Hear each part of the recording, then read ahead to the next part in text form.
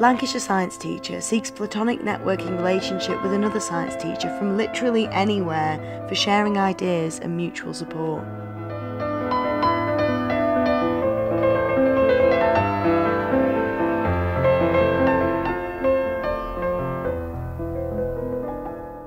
The number of science teachers leaving teaching is on the rise. Not only that, but science teachers are more likely to leave the profession than teachers from other subjects, especially recently qualified ones. And as a science teacher, be it in primary or secondary school, you're someone that knows a lot of things, right? You know that getting kids to keep goggles over their eyes during experiments is a near impossible task. You know that using the line, Look that up and tell me the answer next lesson is the perfect way to get out of a sticky question you can't answer scenario. You know that seeing a child be inspired to ask more questions about the world around them is a fantastic feeling. And you also perhaps know that no matter how rewarding teaching is, if you feel like you're not getting enough support, it can be exhausting and even lonely. I certainly have science teacher friends who found themselves in this position, but the thing is, there are over 20,000 schools in England alone. 20,000. So, of course, that means that when we include the whole of the UK, that's even more. And in these over 20,000 schools, both primary and secondary, there are people teaching science, just like you. So, surely then, there's a vast community of people out there who understand your work and experiences and who you can turn to for support. But where are they then? No, they're not all hidden in some underground teaching brotherhood.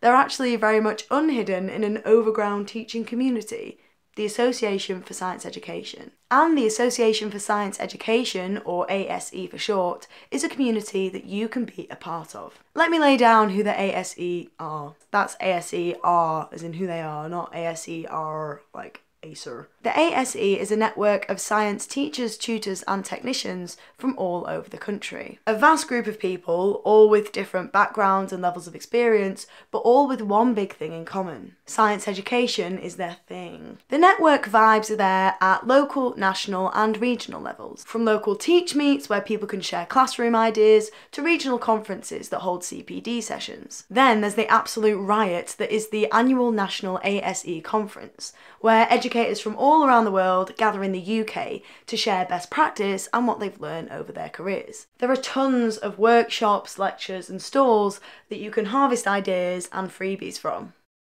And they cover things from theory of education to top of the range lab equipment to examples of exciting and engaging practicals that you could take to your classroom. These face to face meetups are a great way to see the support that's out there for you and to gain advice on your teaching from people who've been there before. And the exposure to new teaching styles and fresh ideas in the realm of education acts as a reminder that teaching is not a stagnant career choice. It's ever changing, and you and your career can grow and develop along with it. And of course, alongside your development comes the development of all the pupils you come across. Also, the conferences are cool because you never know who might pop up there. Face to face meetups aren't the only benefit though. ASE members also get access to journals that contain articles written by expert teachers and technicians, including classroom tips, suggested resources, and shared effective practice. Then, of course, there's the discounts 30% off Collins Key Stage 3, 40% off New Scientist subscription.